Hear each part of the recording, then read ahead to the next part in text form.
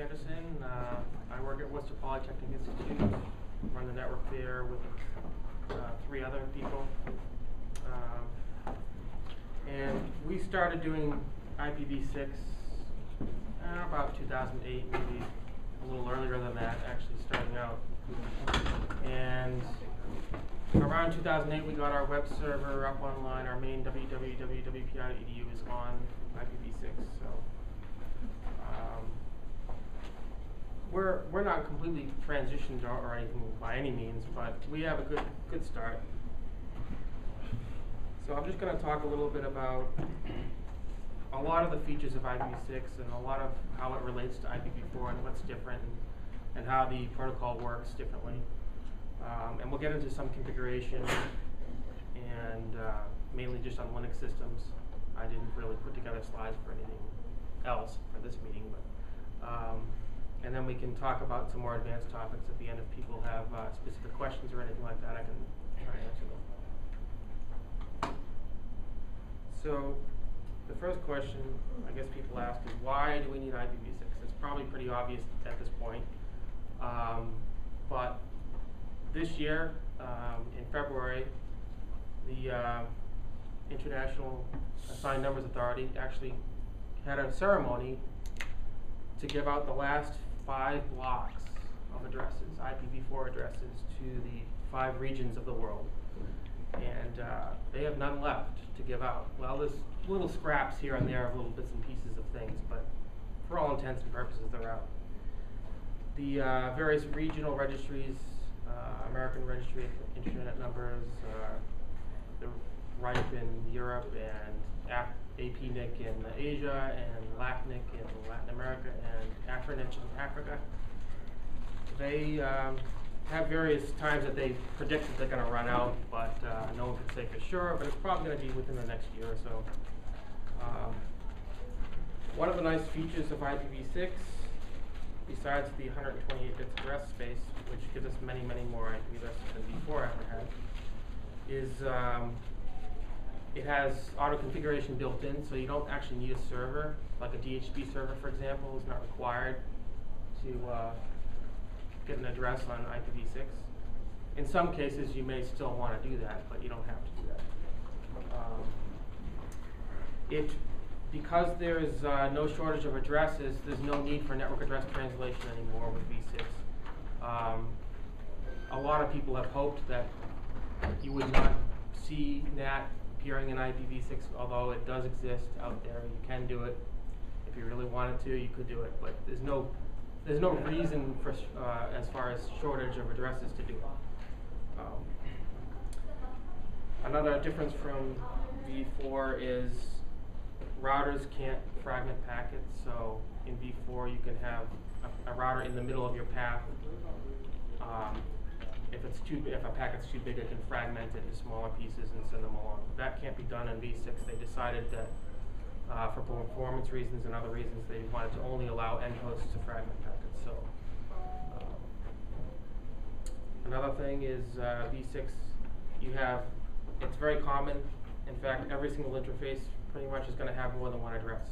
So with v4, you're used to having only one address. Yeah, you can have more than one, but it's very rare not too common. It's pretty much the norm to have mo more than one address on a v6 interface. Okay. Um, how do you write down a v6 address? Well, given those 128 bits, it's a lot bigger, so there's a lot more to deal with than just the 32 bits. So they came up with uh, some ways to compress the notation. So the full notation has eight groups of four digits, and they use colons to separate each group of four digits, and they're hexadecimal digits. Um, that example there um, has a bunch of zeros in it. So what you can do is you can remove the leading zeros from each group of four, and you can also take one group of multiple zeros, and you can actually, So you can take, the, you can simply remove these zeros here. The, these zeros can all be removed. And then this group of zeros, the largest group of zeros can be replaced with a double colon. but you can only do that once, because if you try to do that more than once, it'd be ambiguous where the zeros would be put back into, so. Um, and then, I thought this was an interesting thing, I was recently looking up, how do you verify if, if the syntax of an IPv6 address as entered by a user, for example, is valid? And this regular expression in Perl is one such way to do that. Um, so given all the variations of different syntax, whether it's compressed or uncompressed, and some of the other things that I didn't mention here, um, this big, huge mess is how you can verify that it's a valid address. There's actually longer versions of this. This is one of the shorter ones. One of the really long ones is like half a page, and people kept figuring out how to make it better and better and shorter and shorter. So this is a pretty good one. Now, when you have that huge address, how do they split it up? They pretty much agreed to, from the bat, say that the first 64 bits is like the net network part, and the last 64 bits is like the host ID part. Um, it's kind of like a fixed boundary, almost like way back when IPv4 started out, they had fixed sizes of networks, class A, B, and C, and stuff like that. Uh, so they kind of kind of kind of reintroduced that concept, but um, it's not really a hard boundary. You can really you can still change that boundary if you really needed to, or for various different things. But um, most hosts, pretty much every host is going to have a 64-bit interface ID, and then the top part of it is the network prefix and the subnet ID. The uh, the other boundary is between the network prefix and the actual subnet, so you can have, that boundary can move around and you can have um, any number of bits from 0 to 63, I guess, and the prefix. And then the rest of the bits up to bit 64 would be the, uh, the subnet. When you uh, use this, when you use this uh, fixed boundary of 64 bits by making that a standard, they were allowed to basically take those lower 64 bits and do a lot of interesting things with them. One of the things they can do is this thing called Extended Unique Identifier, EUI64 addressing. So you can basically, this is what allows, part of what allows automatic addressing in IPv6. Um, and the way they do it is that you take a MAC address, at least on Ethernet, you take a MAC address, you take the first half of the MAC address and the last half of the MAC address, and you insert the FFFE in the middle, and um, you flip one of the bits in there, and out comes your V6 interface ID, your lower 64 bit. As in this example here. Now the reason you flip this bit is because um, every MAC address has a ha has this bit seven, which is uh, considered, which isn't. It, it's a bit bit that basically says, is this a globally unique MAC address as as you know assigned by a manufacturer, or is it something locally assigned, which could be conflicting. It could be non-unique, um, and they flip it so that the default for most MAC addresses is going to be its globally unique address. You know, most people don't make up their MAC addresses. So by um, normally that universal bit would be one, and by flipping it to zero, it just makes an address easier easier to um, use the shorthand notation with the double colons or whatever. Because if everyone had that bit set to one by default, because most people have universal MAC addresses, then it would it would make it harder to use the shorthand notation. So they figured they just invert the sense of that bit. Um, because the MAC address is embedded in there, you can be easily tracked as you move across the internet. You know, you plug into network A, and then you go to some other city, and you plug into network B. Someone running a web server can see that, oh, this guy's lower 64 bits is always the same, and they can figure out that's the same person. Now, is this really a big problem? Well, not really, because everyone uses cookies now anyway, and you can be tracked in a million other ways. But they decided to make a way to get around that. So they can use privacy addressing, which just applies as a cryptographic hash to that EUI64 address. And uh, you perform duplicate address detection to make sure you're not duplicating someone else's address on that network. And by doing this, you can basically keep changing that lower 64 bits every once in a while, and anything that's currently using the old address will continue to use it, and it'll become a de deprecated state. And new connections will by default use the new address. And eventually, you know, the old address will, will all the connections will close, and then it'll stop using Uh, interesting thing is that Windows decided to turn this on by default. It's been kind of controversial whether it should be on by default or not because it makes network administrators like myself lives a little bit difficult to track hosts because we want to kind of track hosts sometimes. As far as I know, no Linux distribution yet has turned that on by default or FreeBSD or anything like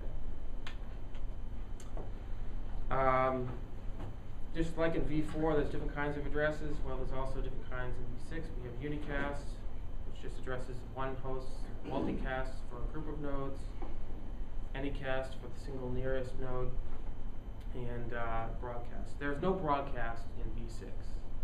So in v4, you can say send a packet and every single host in the whole network gets it. Of course, it's not the whole internet, it's just the local network. But uh, v6, you can't even do that. Um, everything that used to use broadcasts in v4 has been implemented in v6 by using multicast. um, there's also this concept of scope, which doesn't exist really in v4. Um, interface local, link local, site local, and unique local. Um,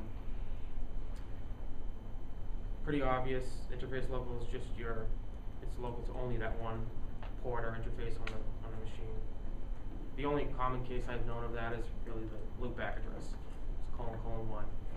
Um, link local is used extensively in, in all sorts of operation of IPv6. FE80 colon colon slash 10.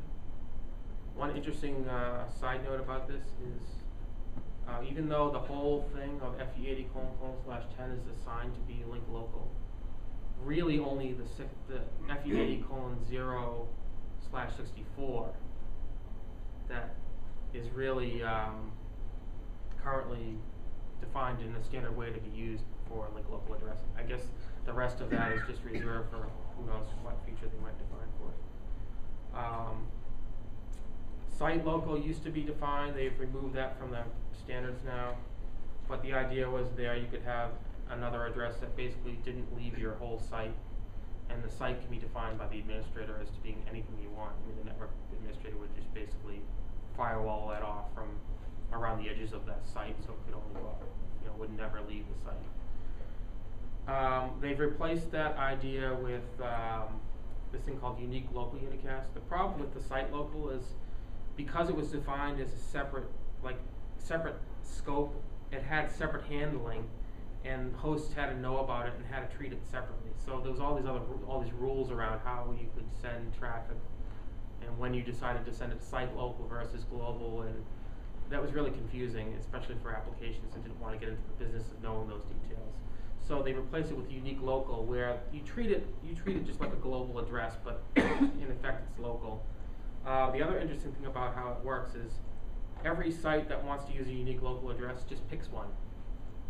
You don't have to coordinate with the central authority, but it's and yet it's still supposed to be unique to you and not used anywhere else in the whole world in the v4 world, you know, when you use a local address of 10 dot something or 192.168, that is going to be used by all sorts of other people. And if you have a merger or acquisition of a company, that can cause a problem because now you have company A and B that are merging. They both decided to use 192.168.1 dot something, right? So to avoid that problem, unique local does provide uniqueness so that it's very, very unlikely, statistically unlikely that you'll choose the same address as someone else.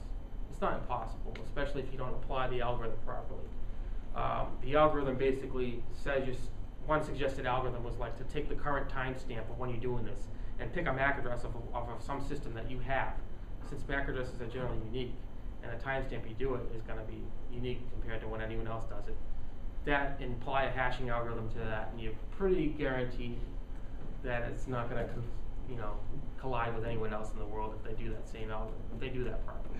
But uh, even so, some people out there, you know, they, they, they don't like the math. They don't think the statistics is good enough for them. So they, they really don't like the fact that this is, you know, wishy-washy and it's not really guaranteed to be unique. So they some people have proposed having a central registry. In fact, there is a registry you can use when you create your unique local one. You can go register it just as an, an advisory kind of thing to claim your space, I guess.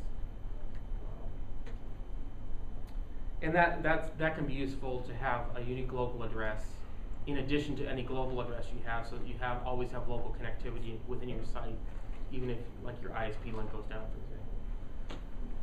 Uh, a couple more scopes, of course, we have global.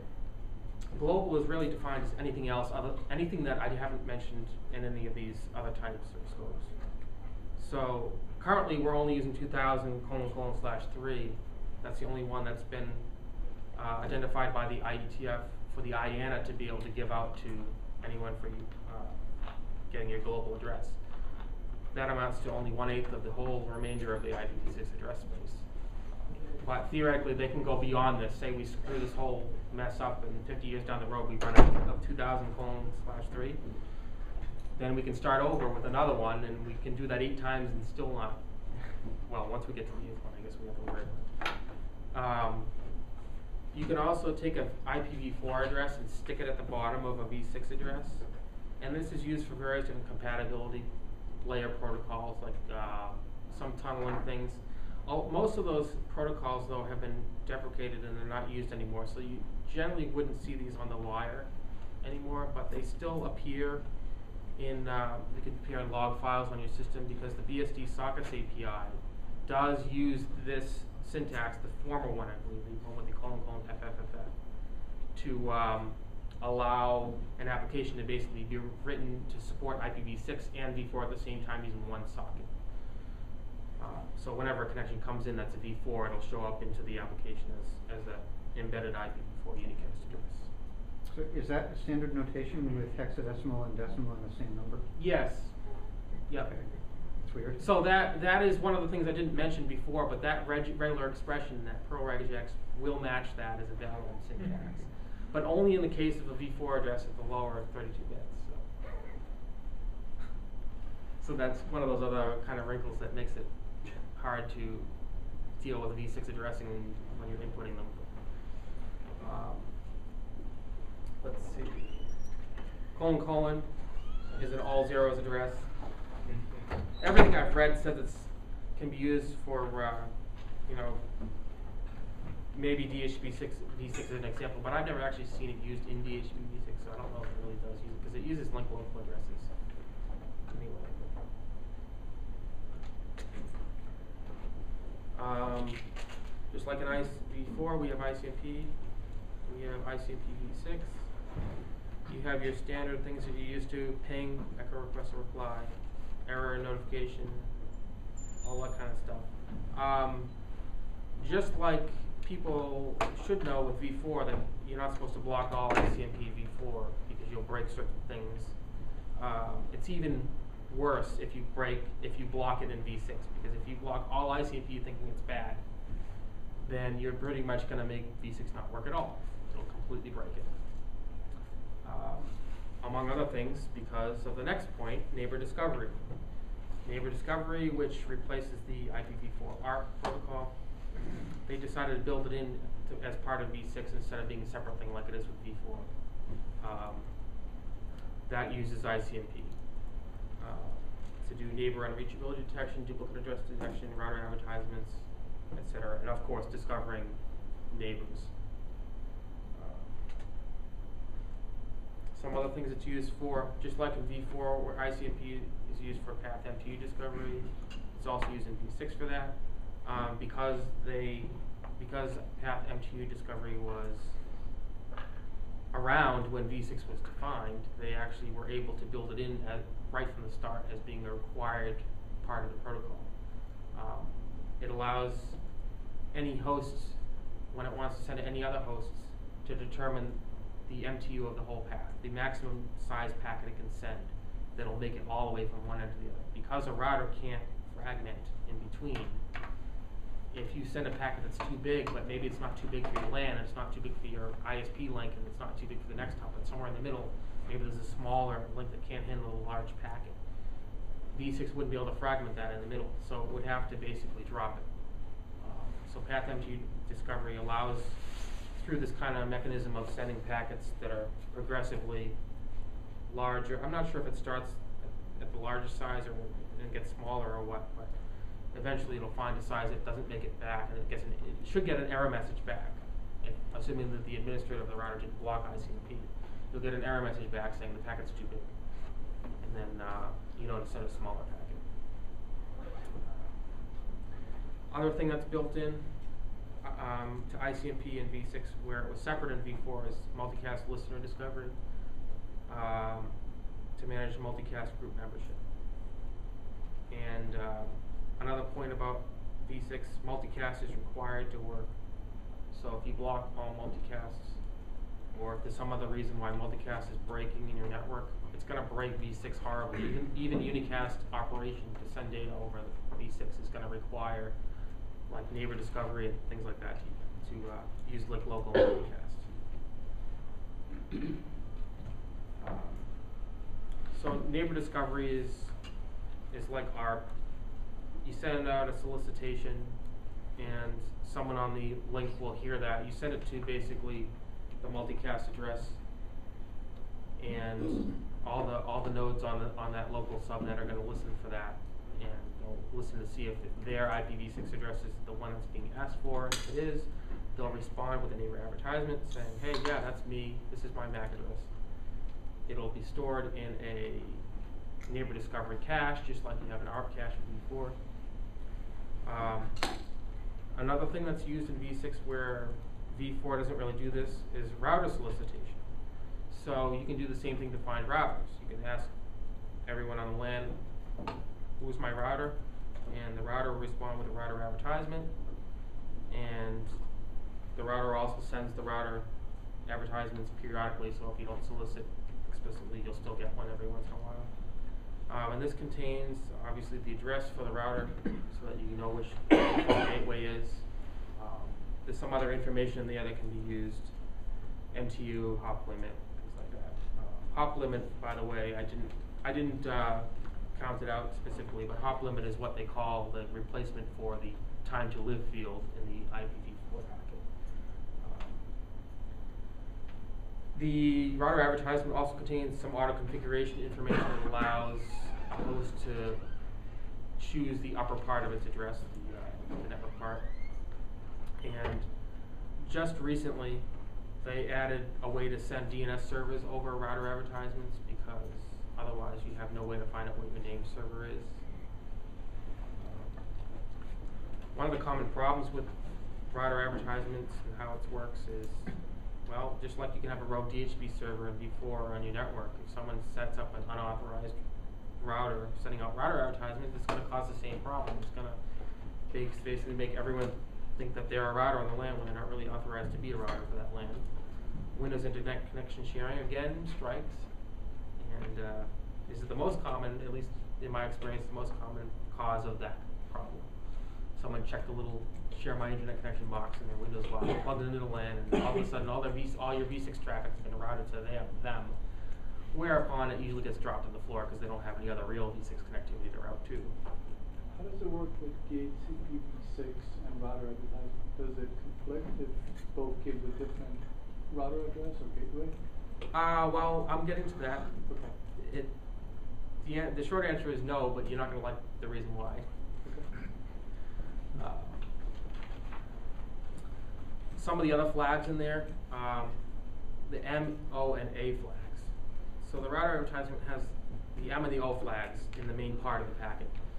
Um, and this basically is like a little hint. It indicates to hosts that are hearing these router advertisements whether or not there's a DHCP6 server that's going to be prepared to answer them. And if there is, whether the DHCP6 server is going to be used in a manner to hand them an address or just to hand them extra information. So this concept of having stateful DHCP6 and stateless DHCP6. When you're stateless, you're basically allowing the router advertisement to hand your to assign your address and your the DHCP server is only going to hand you extra information like the name servers or whatever else other information you might want to hand. Um, also in the router advertisements, you have a list of prefixes, um, and in the prefixes, the prefix is basically that top 64 bits that you're going to use to form your address or the network prefix. And within each prefix, because you can have more than one on a network, you can have a network with multiple prefixes for different ISPs, for example. You could have three different ISPs, and each one can hand you a different uh, prefix, and you could have all three of those active on your host at once. Um, but each prefix has a flag called the autonomous address flag, which determines whether or not that prefix can be used to to automatically basically form an address. And we'll, and we'll talk about that too. You do wanna turn off the A flag if you're gonna be using stateful. Well, you don't have to, you can have, you can perfectly well have both. You can have a, an, a router advertisement assigned address and a DHCP address, cause you can have as many addresses as you want on, on your host. Um, so, with all these pieces now, we have three different main ways you can assign an address to a host. Obviously, the tried and true, just type it in works, as long as you don't fat finger your hundred and twenty-eight bit address and type it in. Um, you can use stateless auto address, address auto configuration. Um, the kind of disadvantage of that is, there's not much else you can do with it other than hand your address and your router out and your prefix. You can kind of hack in this DNS server because they added a way to do that. It's not very widely implemented yet. Um, you can use DHCP6, of course, which has the full suite of features and functions that DHCP as we know and love it has, with a few exceptions. Um, you can't hand out a default router or the prefix length, which is also known as a subnet mask in V4. You can't hand those out via DHCP6 server. It doesn't, this, they didn't define a standard way to do that because the answer to that is, oh, if you want a default router and a prefix length, just use your router advertisement to do that. So today, if you want to run DHCP6, you also have to run router advertisements. You have no choice, you have to do both. Uh, and, and like I said before, if you don't want to use the address as would be created using the router advertisement, you turn off the A flag. Yes? What about uh, additional route information, not default route information? Like if you connect to a VPN, you need to connect to certain networks through that VPN. Right, um, I don't believe that's in there yet, I, there's some work ongoing about that. There's some work ongoing in the IETF right now about handing out a default route via V6 because no one likes, well, I don't like this, I don't know. Some people think router advertisements are great and we don't need DHCP6, and some people think DHCP6 is great, we shouldn't need router advertisements. So they're basically gonna, eventually what's gonna probably happen is you're gonna be able to turn off router advertisements, you're gonna get everything you want via DHCP if you decide to set your network up that way. Uh, But it's interesting, it's kind, it's kind of like the Emacs versus VI can't, uh, religious arguments all over again, but between those two protocols. The interesting, other interesting thing is with DHCP v6, well, with DHCP v4, you send in the packet when you're requesting an address from the server, you send your MAC address.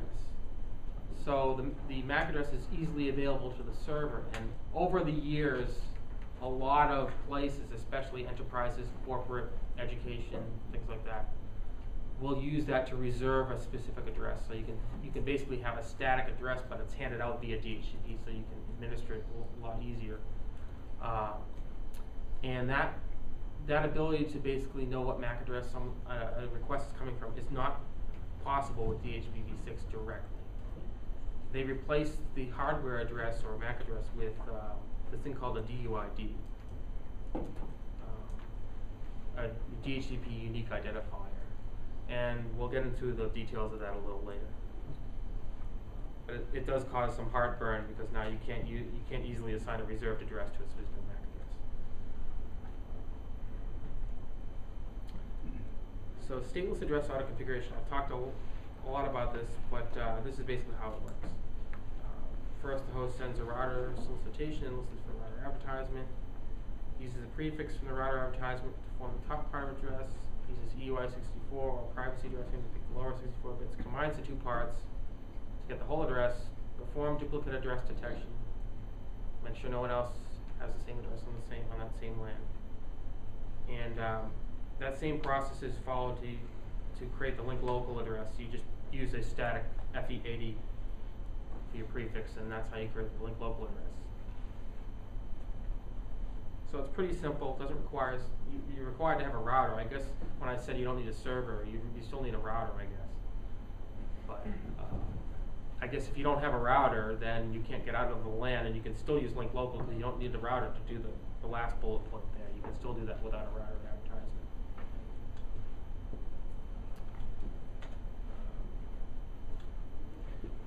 If you want to use dhcp6 in a stateless mode, you can basically stateless meaning that the DHCP six server doesn't have to track leases of who, which address it gave to which host. Um, hosts use the stateless auto address configuration I just described to get their address. The DHCP server doesn't have to keep track of that, but it's still used to hand out DNS servers, NTP servers, proxy, et cetera, et cetera, whatever else you want. Um, stateful is the traditional kind of DHCP we're all familiar with where it does all that plus hands off an address keeps track of the address in its lease database. A new feature is this thing called prefix delegation. So you can um, hand out entire subnets or prefixes. So for example, your ISP could say, okay, I'm gonna give your house the slash forty-eight, and then the router in your house could say, okay, I got the slash forty-eight via DHCP prefix delegation. Uh, I could further sub-delegate that and say, okay, give a slash fifty-six to my garage. And then the router in the garage could say, give, give a slash, you know, sixty to my car. And then my car could say, have a router in it that that sub-delegates a slash, you know, sixty-two or something to the engine control computer, and the other sixty-two for the occupants of the vehicle or something. As an example. So you can have a chained hierarchy of prefix delegation and do that. Um, unlike V4, which uses port 67 and 68, they chose different UDP port numbers, 546 and 547. In my experience, the OS, at least the Linux OSs I've played with, uh, don't quite yet have it automated. You have to manually allow these through the firewall. So it's kind of strange having to open up your firewall to even be able to get an address, but that's how they did it. Um, link local multicasts again are used to uh, send traffic to the DHCP v6 server. Um, you have two addresses there, one for all servers and one for all relay agents and servers, and different, you know, different parts of the protocol might talk to those different addresses at different times. In V4, we had discover, offer, request, ack as the four packets of the exchange, and they renamed them in V6 solicit, advertise, request, confirm, because of course there was they wanted to come up with new terms, who knows. Um, there's also this thing called rapid commit, which a host can use to quickly reacquire an address it had in the past, assuming it was still valid. So it's like an optimization. It's a two-packet exchange solicit and reply. Back to this thing, DHCP unique identifier I talked about. Um, the idea behind this is they didn't want to use a client hardware address or MAC address to identify clients because they they said that you know people change hardware, they change out their Mac, you know their Ethernet card or or motherboard or or whatever, and if you do that, then your address might change. So instead, they they created the same problem effectively, but instead of when you replace hardware, your address changes. Now, when you reinstall your OS, the address changes. so right now in current hardware, you know, of course, hardware doesn't have any way to store the, the UID, the DUID in hardware. So it's going to be basically on your hard disk because your OS is going to create when it, when it installs. And it's going to store it on the hard drive. Um, theoretically, it's not supposed to ever change after that, but we all know that you know deployment models. If you re-image a machine or something, it's going to change. So there, there is some, uh, there is some current work in progress. In fact, oh yes, But doesn't that cause a lot of problems for like big shops that close machines and? yes. Well, you make it part of the post install script to insert one in there. You could, but then you kind of have to keep track of your, all your unique IDs for every machine and stuff like that. And then trying to map from a DUID to a MAC address or, or the other way around is one of the big problems that I have with it. Um, but there is some work ongoing currently. That, uh, in fact, I believe one of the drafts either made RFC status or is about to make RFC status. That basically defines a an existing thing that a lot of machines are starting to implement. New servers, especially, have this UUID, unique uh, universal unique identifier, which is used for lots of different things, um, and it's implemented and it's embedded in the BIOS of the computer. So they decided, oh, well, we have this unique identifier that has been implemented for various things. Why don't we use that and leverage that to be able to have a DUID that's at least something that may you know, for example, be printed on the box, so when I get a new machine, I can look at it. Just like I look at the MAC address written on the box today, I can look at this UUID on the box and have a chance of being able to tell what the identity of the machine will be once it's on the network. Um, You can also use a DUID with V4, and this is, allows cross compatibility with V4 and V6 for things like dynamic DNS updates. If you have a, a stable identifier that's the same in both protocols, it makes it a lot easier to have to know it's the same client, and it's allowed to update that DNS record, you know, to have both addresses on it. Uh, the DUID can come in a few different formats they define, and it's extensible, so they can define new formats, hence the one I just mentioned where they did define a new one. Um, the initial set was the link layer address plus time, based on the time of generation of the MAC address. So, um, if you happen to have clients that are using LLT, you can kind of extract the MAC address out of it in the, in the server and find out what the MAC address is. But the DUID is supposed to be an opaque value. You're not really supposed to do that.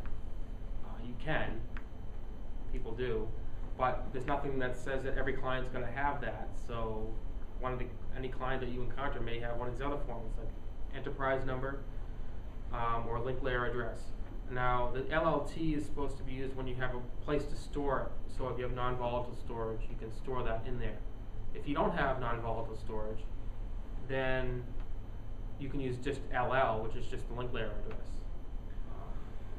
Um, but uh, it's, I guess they didn't want you to use that all the time because it, there's more chance of uh, problems, I guess, if you change out the hardware. But they say here that they, if you if you have a permanently connected network interface built into a machine, then you can use LL because you can't change out the hardware really. I mean, you replace the whole machine, I guess.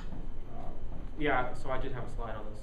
Uh, the universal unique identifier um, embeds the, the existing existing define definition of a UUID.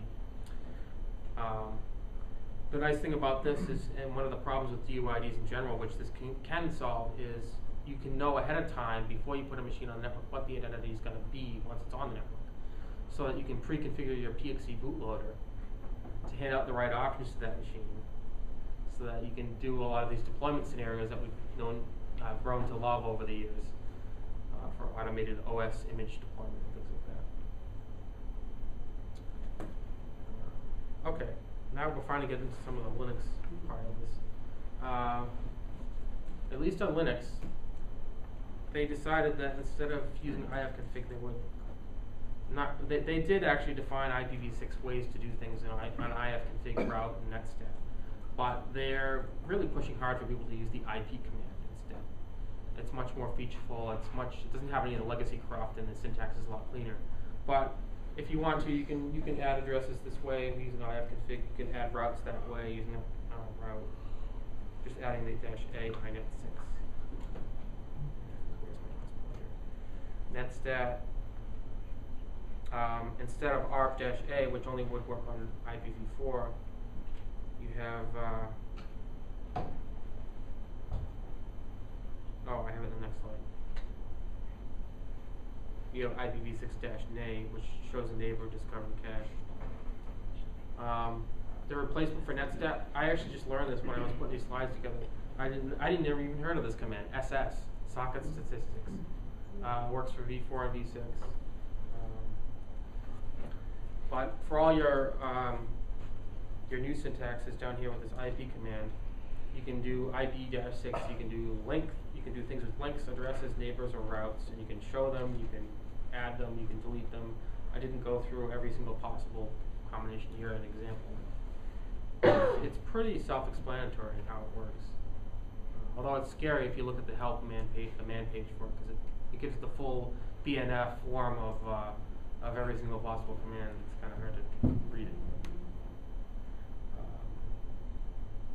and the nice thing is, once you learn the EIP command, you don't have to care whether it's v4 or v6 anymore because that same command will work with both in, the same in a similar way. I'm a big Red Hat and Fedora guy, so this is what I know. I don't really know much about how the other ones, other distributions do it, but if you're familiar with this syntax, uh, this is how you do the IPv6 stuff in your NC6 config, network configuration. In the main network file, you wanna, you wanna always have this to be yes. If you set this to no, it'll basically tell it, it just be agnostic to v6. It basically says it won't touch anything, it'll pretend it doesn't even, it isn't even there. And if you set this to no, it's not gonna really turn off v6 because by default, the Linux kernel is gonna do the link local and it's gonna do the RAs and it's gonna listen. And so if you set this to no, you might get an address via v6, one of those auto configuration mechanisms and not even know it. You won't get a DHCP address, but you might get a one from a router advertiser.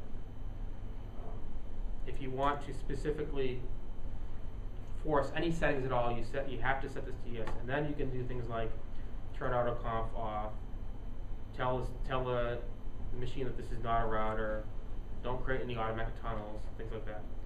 Um, Did you get some underscores there? There's, uh, some of them have underscores, some don't. yeah, I believe that's correct. I could have made a typo on the forwarding one, but I think it doesn't have an underscore. Yeah, that's, that's, this is, you know, whoever designed the, uh, the Red Hat network scripts. Whatever. Um, Uh, well, I don't understand, maybe I missed it, maybe I, somehow I didn't catch it. How, how are you gonna get a firewall on this?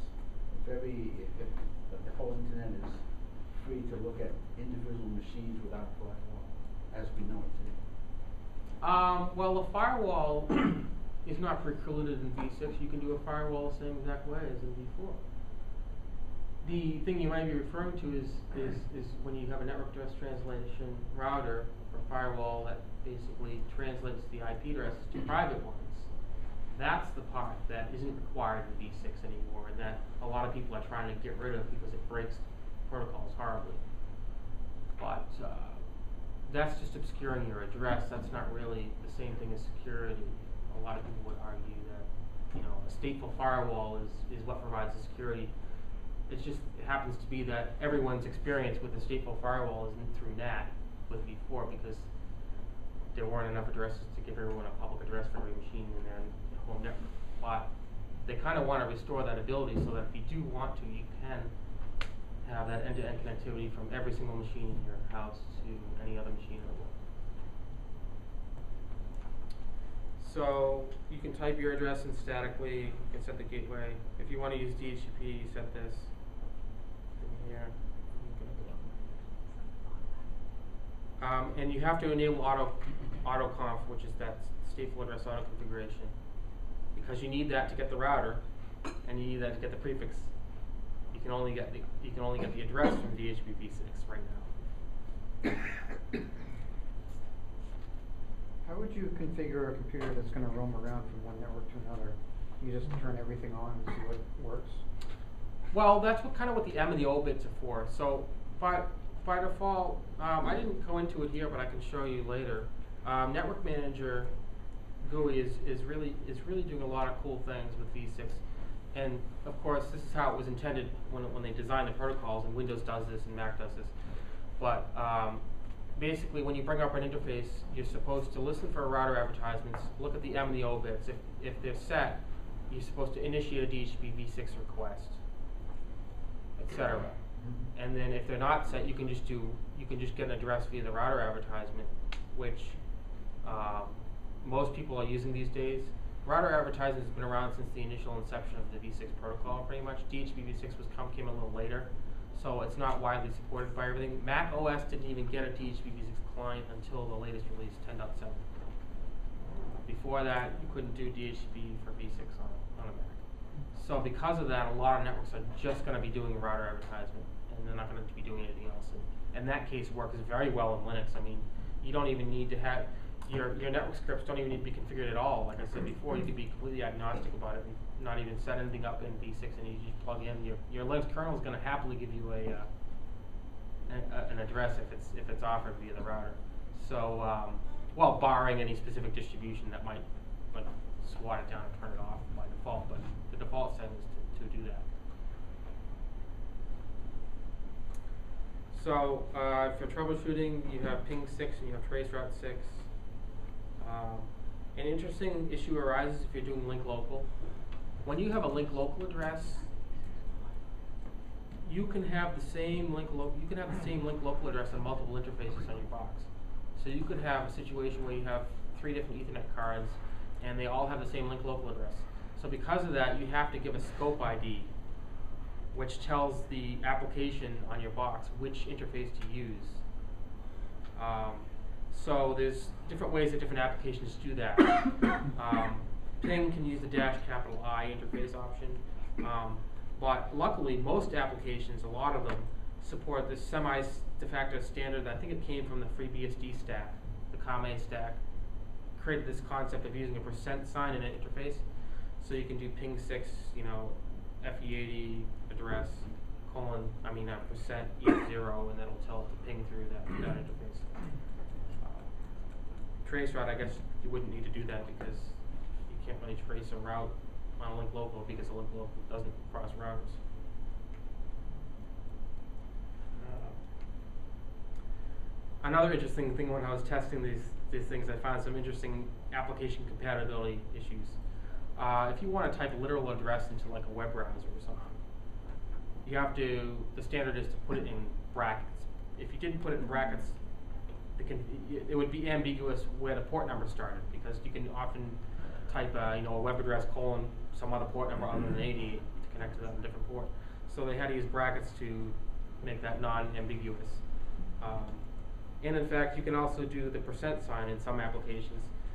eLinks works with the literal, Firefox works with the percent sign for link local uh, web, web server connections, but uh, Chrome, it doesn't work in.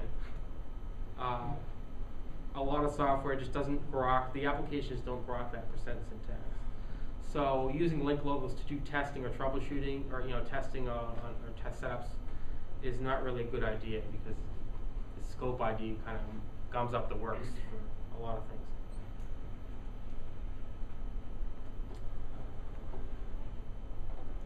So DNS. Now, a lot of people make the assumption that if you're using D- DNS on v6, that you only get a DNS, an IPv6 address back. Or if you're using DNS on a v4 host, you only ever get an IPv4 address back. But that's not true. There are two separate things. You can you can send your requests and get your replies, and your server can listen on v6 or v4, and that's completely separate from whether or not the data you get back has v6 addresses in it or not. So the resource records themselves uh, for v6 are called the quad A record, um, which is your IPv6 address, and then the pointer record. The pointer record is the same as IPv4. It's, it's just pointer. It's not. They didn't create a new name for it. Um, but that is how you can map a, an address back to a name.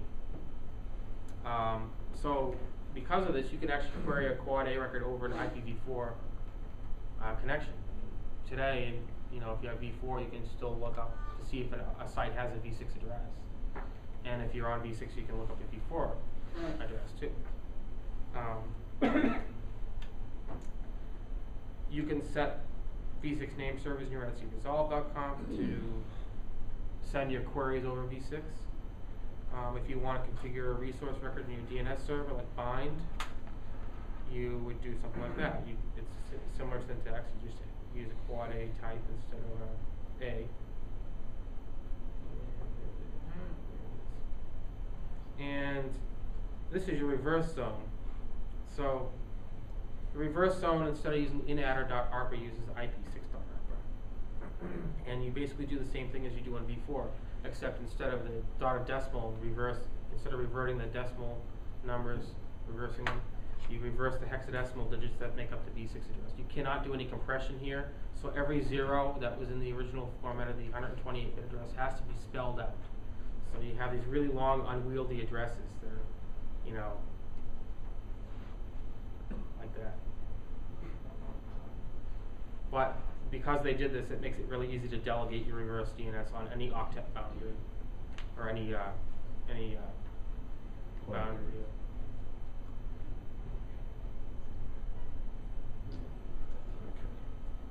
Now, what do you do if you look up a name and you have v6 and v4 connection on your machine and you get back from the DNS both a v4 address and a v6 address record. How do you select which one to use? This, this problem is called address selection. You can have source address selection, you can have destination address selection. so they define this whole standard way to, to, to do this, and in order to do this, they created this new API called getAddrInfo that all applications are theoretically supposed to be using now instead of the old get host by name. Uh, getAddrInfo allows a full list of addresses to be returned instead of just a single answer, and they can be sent back by the uh, implement, depending on the implementation on the on the host OS, in a, in a specific order, and that ordering is defined by rules.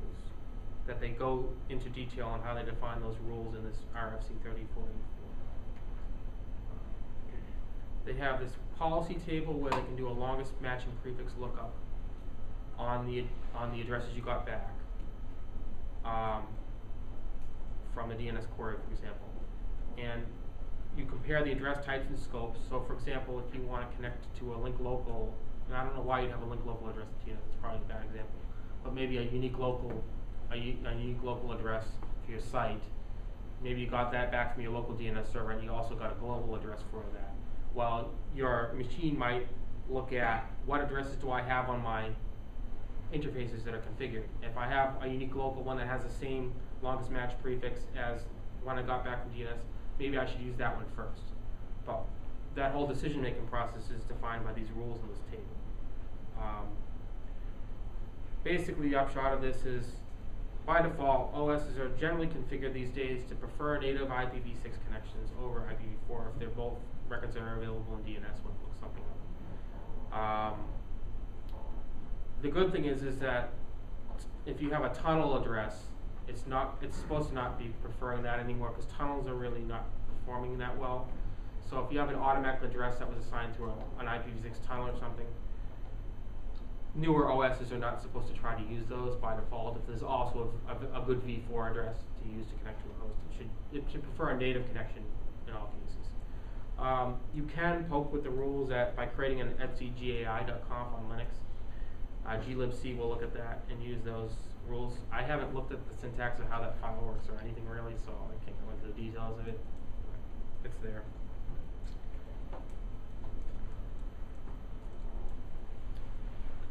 Um, I didn't really put together a slides on all these other topics here, but uh, if people are interested, I can say a little bit about th- these different things. Um, there's a lot of different transition mechanisms.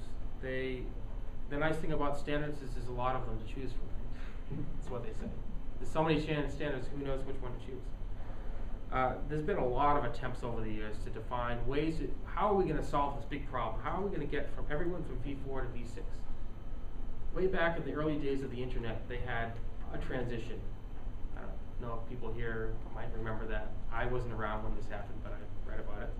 Um, but when they transmitted, when they transitioned the old ARPANET from NCP to uh, uh, to IP as we know it now, they had a flag day. They basically said, as of this date, everyone will switch over, and if you don't switch over that date, you won't be connected anymore. Well, when they when V6 came along and they decided they needed to define this V6 protocol thing, they said, well, we know the world isn't going to really accept that in this day and age. There's too many hosts on the internet now. Back then, it was maybe a few thousand hosts, right? They could do that. So there's this. They created a lot of different ways to basically have co- V4 and V6 coexist. So there's two main ways to do it. You can either tunnel your traffic over a V4 network to another V6 network, or you can translate between V6 and V4. Um, and there's just been so much work in this area that there was, there's even ones I didn't even mention on this list, but there's like 6 over 4, there's 6 in 4, and 6 to 4. Don't ask me to define what the difference is between them because I forget. And a lot of it's historical cruft, and I didn't want to focus on all the historical cruft that pretty much fell by the wayside. The current ones that you may hear about 624, ISATAP, Teredo, 6RD. Luckily, even a lot of these are going away. Peop peop it used to be that, you know, 6 to 4 is, it basically allows a machine to automatically create a tunnel. And it'll basically um, take its IPv4 address and stick it in an, a well-known prefix of IPv6 address, and it uses that same kind of compatible format where the lowest 32 bits are the IPv4 address, I believe. And I might be wrong on that. I might put it somewhere else in the packet. Um, and um, it sends, it can send an, um, its packets to a well-known relay router. There's this Anycast address, uh, I think it's 192.88.99.1 or something like that. And the idea was that basically anyone out on the internet can advertise a uh, route to this well-known Anycast address, and anyone that plugs in their Windows box, because Windows out of the box does this by default, will try to tunnel to that nearest node wherever it happens to be. And you know, you get things like, oh, well, I'm here sitting in Cambridge and I plugged into my, my box and I have this automatic tunneling set up to six to four and I try to connect to, before they define the rules to say that native connectivity should be preferred, you might have had a v6 address that was tunneled and a v4 address that was native. Well, if you try to connect to a website that had a v6 address, you try to use that tunnel. Well, what if the nearest relay router for that was in Taiwan or something? Well, guess what? Your traffic's going to be sent to Taiwan, de-encapsulated to native v6, and then sent back from Taiwan to Cambridge where the web server lives. And that's just stupid, so that's the kind of the problem with a lot of these automated tunneling mechanisms. You can set up manual tunnels where you manually pre-configure a six to four tunnel to one of the tunnel brokers, and because you set it up, you know you know what you're doing theoretically, and you'll put up with whatever issue, you know what what route you're going through to get to your tunnel router. Teredo was invented to basically allow these tunneling mechanisms to work from behind NAT boxes. So a lot of people at home they realized that you know no one has a public address. You know everyone has these private addresses behind their translating routers, and 64 automatic tunneling and ISATAP tunneling don't work behind that. So they had to do this Teredo thing. Microsoft was a big push behind that, and um, it encapsulates your v6 packets inside of a UDP packet. So and it sends the UDP packet and does a relaying thing and does a rendezvous and it figures out, you know, what your public address is on your router and all that kind of stuff. Um, one I did use recently was 6RD. 6RDs are for rapid deployment. Um, it's basically the idea of doing automated tunneling with 6 to 4, but in a way that's not so wishy-washy where any anyone out there can send out a route to a relay router and your traffic can be directed anywhere. Instead of doing that, 6RD uses, an ISP would set this up. So for example, Comcast just had a 6RD trial where I was participating, and you basically run a software on your router, which they provided uh, the software, um, to tunnel specifically for their net block. So they had a, a certain IPv6 prefix that they have for Comcast, and you would get an address out of that block for your house, and it would tunnel to their router. But it was very, very defined. It, would, it was automatic in the fact that you didn't have to set it up manually, but it was still controlled within their network. Um, some of the other things that are coming along, unfortunately, it's called carrier grade NAT and dual stack light. Um, one of the things some ISPs are choosing to do is they know that they're going to run out of V4 addresses really soon. So what do you do? Well, one option is give everyone a V6 address. The problem is not everyone out there has V6 enabled servers. So for a long time, there's going to be the coexistence period, and the, and the, you're going to have to have some kind of connection to a V4 between V4 and V6, or you're going to have to have a V4 address. So they're going to start doing multi-layer NATs. So you, you have a NAT router right now, and typically people in their houses have a single public IP address. Well, it might be in the future that you're not going to have a even a single public IP address. You're going to have a shared public IP address, or your public IP address that's on your router is going to be shared with you know 100 other people, and they're all going to have that same address. And they're going to do this NAT in, in the ISP at their end, another layer of translation that's going to basically figure out when a request comes in, which of those customers is using that IP address for this particular connection. And they're going to do port sharing. You know, they're going to have certain ranges of ports maybe that are that are defined for each customer. It's going to be really ugly and messy. Uh, I predict that there's going to be, you know, people people are not gonna stand for this. They're not gonna like it at all. It's gonna break gaming. It's gonna break who knows what else. Uh, a lot of peer-to-peer applications probably won't work right until they figure out a way to work around all these other layers of translation. So uh, it's there. Some ISPs are going to do that. Other ISPs might try some of the translation techniques. So over the years, there's been a lot of different ones of these defined. Uh, but basically, the idea here is it's kind of like doing NAT, but instead of translating a v4 address to another v4 address or a v6 address to another v6 address, you're translating between protocols. You can do NAT PT, NAT protocol translation, or NAT64. So you basically say when when a the other piece about the NAT64 is if a host is on v4 and it wants to connect to a v6 server, or vice versa, uh, it might look up in the DNS, you know, say it's a v4 machine and it looks up in the DNS and, it, and normally it would get it back a v6 address, a v6 only address. Say a server doesn't have v4 because there's no v4 left to give that server, so it only has an IPv6 address.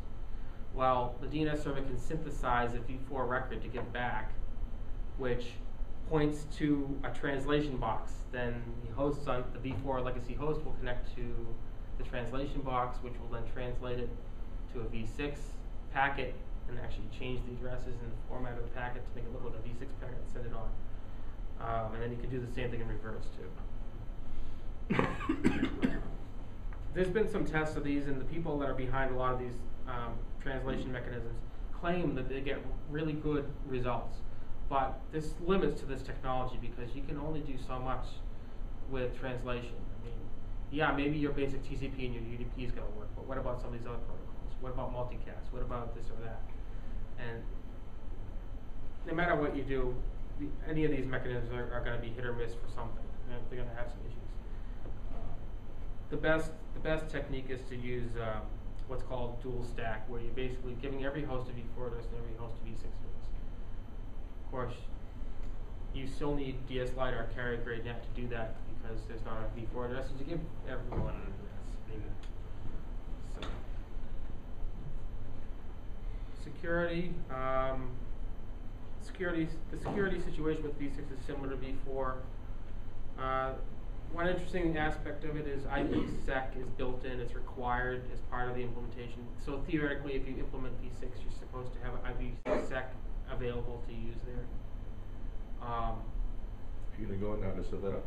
hmm? Are you gonna go into how to set that up? No, I'm not gonna go into, into the details of that. It's, it's similar to V4 if you're fam- familiar with it. It's the same concepts.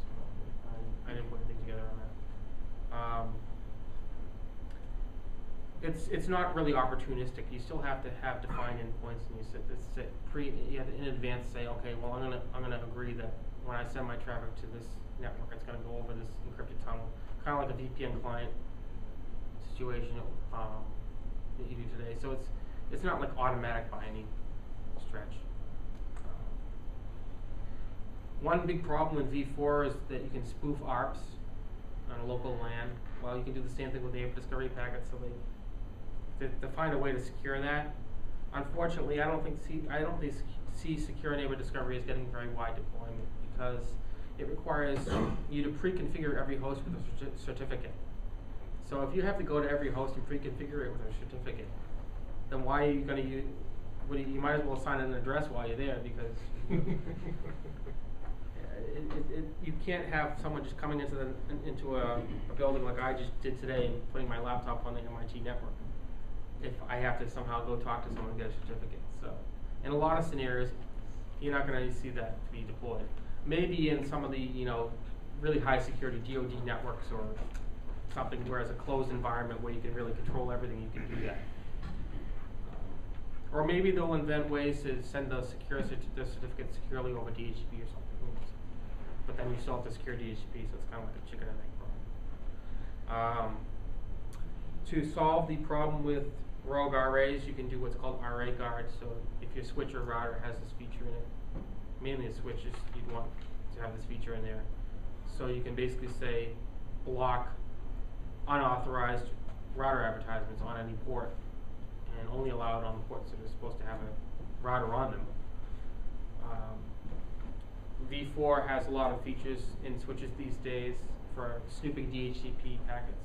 So you can do the same thing with DHCP and say, okay, if a machine plugs in and tries to hard code or manually type in an IP address, it's not allowed to talk. It can only talk if it's gotten a valid lease from a DHCP server. That's called DHCP snooping. So, um, a lot of those features are coming up, up and coming, I should say, in, uh, in, in some switches to do the same kind of thing with V6.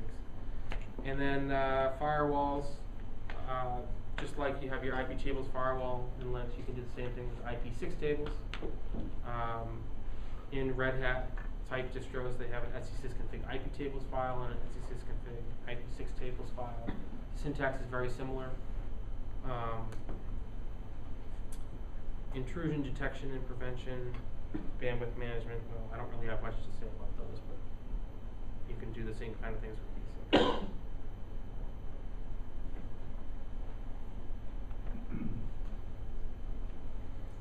routing. I don't know who here- here wants to go into routing protocols, but uh, the uh, dynamic routing protocols for V4, they've basically extended those for V6. If you're using a tunnel broker, do you need those? Um, BGP you can do. A lot of, uh, there's one tunnel broker, uh, that I use that supports BGP if you want to. I haven't set it up with them, but I'm using SixXS on that, uh, I don't know about them, but I'm using tunnelbroker.net. Um, um, at WPI, we, we got this nice slash thirty-two. Um, and, uh, how do you divvy up all that space? I mean, that's like, a slash thirty-two, if you take thirty-two more bits of that, you're up to bit sixty-four, and then you have sixty-four bits of host address. So theoretically, I have, I have an internet-sized worth of subnetting I could do. If you consider that the whole internet now is only 30 bits of IP4 address space, so. actually you have four billion internets there. I have four billion subnets, and each subnet can have two to the sixty-four hosts in it. Theoretically. But when people throw about those numbers, they're, they're, not considering all the other features you get out of that, like the EUI sixty-four. So you're not really using all sixty-four bits of the host address to assign that many addresses. You wouldn't really put two to the sixty-four machines in a single subnet, because that'd be, be ridiculous, it wouldn't work. Uh, So it's not really about having the space down at the low end there, it's more about being able to do some of these automated mechanisms and some of these statistical, uh, uniqueness kind of things. Uh, And then future things that who knows that we haven't figured out we wanna do yet. Um, but, uh, I put together a plan for our space, um, generally speaking, uh, uh, each site would have a slash forty-eight, that's kinda like the standard when you when you get an address space from your ISP. Um, a lot of ISPs are agreeing to do slash fifty sixes instead of slash forty eights because they figured out that if they give every one of their current customers a slash forty eight, they would need like even more space. It, it would eat it up a lot quickly, so a lot more quickly.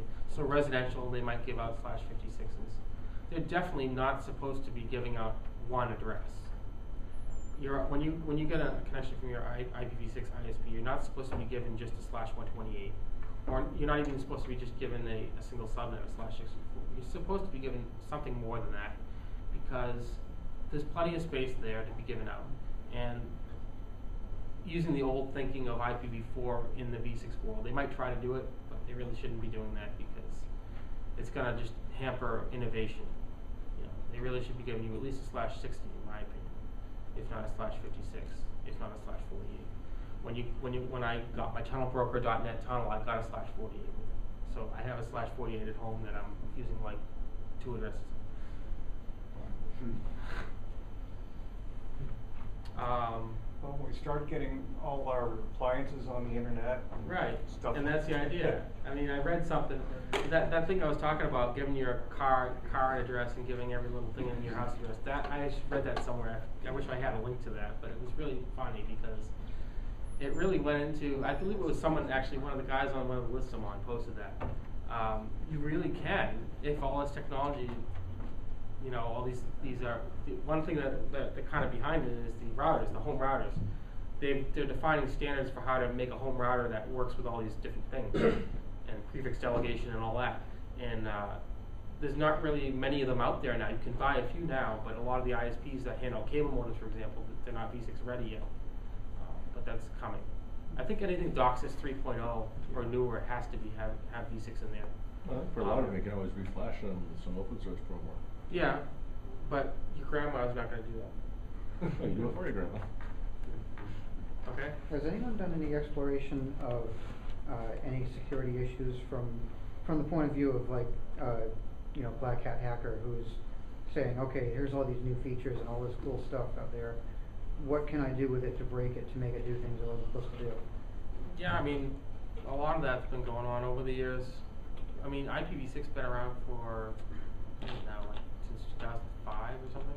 But we don't have 2001. hundred million people at home. Been longer than that. Yeah. Actually, 98 was the initial. had engineering task force 1998 was working the- on it then, Yeah. yeah. Yeah, I cause we believe had, it is. I Ninety-eight. remember I announced in nineteen ninety-six that it had just been added to the Linux kernel. Yeah, so a lot of these things have come about. In fact, one of the things is the routing headers. I didn't go into that. I didn't really go into the packet format of the routing header.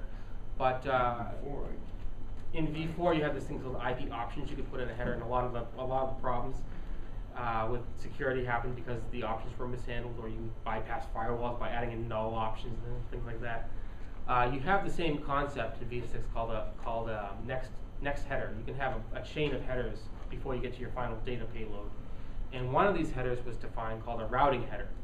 And this header was designed for basically routers to look at. And you could have a hop by hop routing header and you could have an end to end routing header. So that the hop by hop one said that every router hop along the way is supposed to inspect this header. Um, and one of the headers they defined, they, they recreated the same problem that happened in V4 with called source-based routing. You could do a source route on V4 where you could say, instead of allowing the, the each router to, to determine where the next hop is to get to my destination, I'm going to predetermine that at the source. I'm going to say, okay, first I want you to go here, then I want you to go here, then I want you to go here, then I want you to go here, and then I want you to go here. Well, the problem with that is if you have a malicious host, it can create a source route that does all sorts of bad things, like creates loops, intentional loops. It could it could bypass firewall, you know, do weird weird things and process. back to UUCP. Yeah, like bang path routing. Yeah. So they basically they they went ahead and did this in V6 and they defined this routing header that could do the same thing, source routes. So they had to get rid of that because of the same problem. And uh, there was some other attacks with the routing headers. They basically had to deprecate them from the protocol and remove them from the standard because when they designed it in '96, they had forgotten everything they learned about in in '92 or '90 or whatever. I guess I guess you could say that around 95, 96 when they were working on IPv6, you could say that there wasn't a lot of commercial deployment of IP, the internet at that point, so maybe they didn't have some of the knowledge or experience of these attacks. Um, one of my problems with figuring out V six, you touched on to some extent. Um, it's been going on for ten years or more in terms of development. There's plenty of standards to do lots of different things. And whenever I start to look at this, it's very difficult for me to tell which are the ones that are still actively being used, which are the ones you clearly don't wanna use. When I have choices, what are the pros and cons between Right. them? Is anybody who doesn't have religion on these issues actually, is there somewhere I can go to get somebody who isn't biased? Um, I found a pretty good paper on, uh, I went- I looked it from sixxs.net, uh, about a, uh, project that was done in Europe. This paper was published in two thousand five, and it basically goes through everything. It's something Everything's 500 changed since two thousand and five. This- That's the problem. this, this publication from the NIST, National Institute of Standards and Technology, this is one of my favorite documents. Um, this does go into a lot of things. It's, it's a little bit outdated, but it's fairly recent. I forget the exact date on it is. Maybe I'll just see if I can go to it and see uh, what the date is on it. But it goes, it, it goes into very in-depth on a lot of these things for secure deployment of V6 and talks about different things. It doesn't really say you should or shouldn't do one thing or another, but it does tell you about all the different things you can do in enough in enough depth that you could probably you know, make an informed decision about it. Why didn't it open?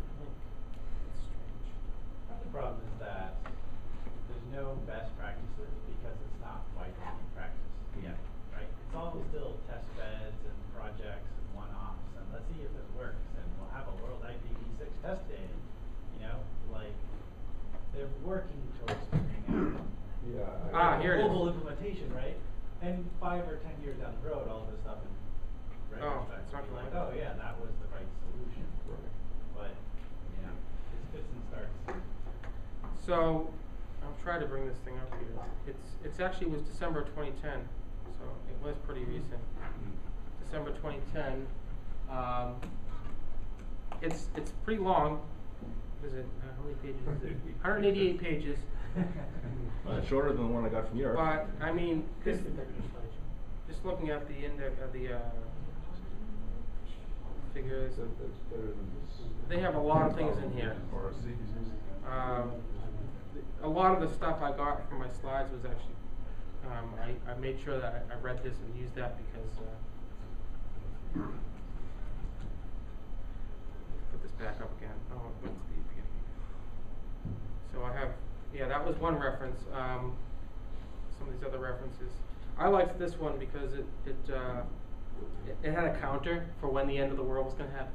I mean, when, when IPv4 was gonna run. Out. It's now zero, so it's not so interesting anymore. I haven't looked lately. They might actually have a uh, similar thing for each of the RIRs to see when they're going to run out. Uh, this is where I got the, the reg- regular expression for Perl. And there's some cool testing things in there that you can use to test the different algorithms and the different regular expressions to see how well they fare in with all the different test cases. UI 64. I'll So- po- I can post these slides. too. You gonna put these on, Speaking on of those, BLU? That'd be nice, people will wanna see them. Yeah. Oh, yeah, just send it to me. uh, Yeah.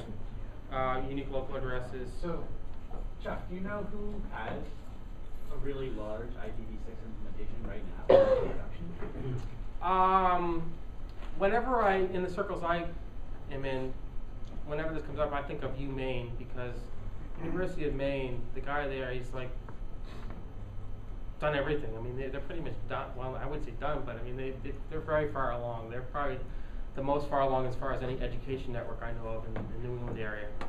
Um, and then, to be honest, I think we're, I think WPI is one of the second or third in line, at least among the, the group of people I talk with in, the- in the Boston area,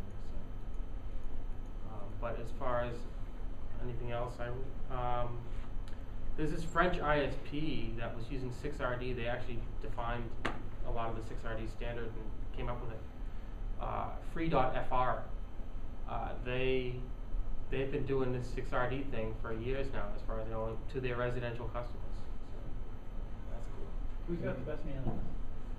The best mailing list. Was it Sanog or some merit list or something? Uh, I mean, yeah. Where I- does it come up, you know, like, I'm not a network admin anymore, so. Yeah, I mean, Nanog is, is one, but you have to put up with everything else that's on that list. Um, I don't know, I don't really know what a good mailing list just to, I mean, it- I'm on all the IETF ones too, so. There's one that's really good for operational aspects of IPv6 called the V6 Ops Working Group. That's one of the most relevant ones I've found for what I do. As opposed to the, you know, the protocol geeks who talk on the, you know, other lists that isn't so interesting to the operational folks. I know implementation wise, it's been a while since I've seen some of the charts, but a lot of countries have it a lot more deployed because the US has the lion's share of the entire internet subnets. So the rest of the world is not so lucky. So I know, um, from one of the last reports, which was probably a year or two ago, I saw, uh, like South Korea and, uh, Japan have a very large IPv6 penetration because they just didn't have the IPv4 addresses because their countries, and Germany was fairly far along, and I think Canada was a lot further along than the US. I believe we have in the United, uh, in the ARIN region, I believe we have like three slash eight blocks remaining, cause we got, we had two and then we got the one last one that they gave out, and they gave the last five out to everyone. And, uh, I believe Europe actually already ran out, if I, now that I think about it, was it Europe or Asia? One of the ones already ran out, tech, technically. Now, the local registries still have some, so it's not like they, the flow has completely stopped, but, you know, it stops upstream first and then it, and everything flows downstream and eventually there's none left downstream either. But, uh, yeah, I think they're already run out over there. I believe it was Asia, actually. I think app makes sense. Yeah, yeah. I went to the, uh, the recent meeting and, and, uh, there's interesting policy discussions about all the stuff with V four because, you know, there's this transfer market they opened up, so you can transfer V four addresses from one to another, and now they're talking about allowing global transfers, so like, if someone in the United States wanted to transfer addresses to someone in China, they could do that, it's crazy. Uh, a couple of things. Hurricane Electric has a really cool, you know, test process and they call it a certification process on their website, which is a neat challenge. And they Yep. help you figure out how to set it up and test your setup and all that. It's a good way to waste like a couple of weeks of your time. Um, and uh, Comcast has on their blog information about their native IPv6 deployment. Uh, I couldn't find in there on my phone which network, which localities they're doing first, but they say they are doing native Yeah, there was like IPv6. two or three. I, was it Chicago and Seattle and, and I don't remember exactly. I'm just it's something like that. It was a Yeah, couple. I saw something on like Gadget a couple of days. It was nothing in the nothing on the East Coast as far as I could as I remember. So. But they did say they're supposed to go the entire country by the end of 2012. Okay. So. It's cool. Yeah. Yeah, but we're all gonna be dead then anyway. Oh, obviously.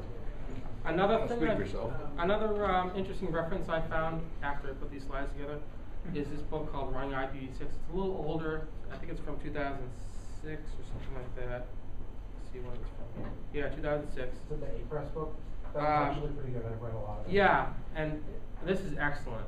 And then this goes into a lot more detail than what I certainly went through here on how to get all your various systems, Linux, FreeBSD, Mac OS, Windows, to talk on V6, how to exactly configure all your tunnels and everything like that. Um, and even beyond that, DNS and all sorts of things. So I highly recommend this book. You- It's a little, a little older. Um, if I'm thinking of the correct book, I tried to get this one and it's like out of print.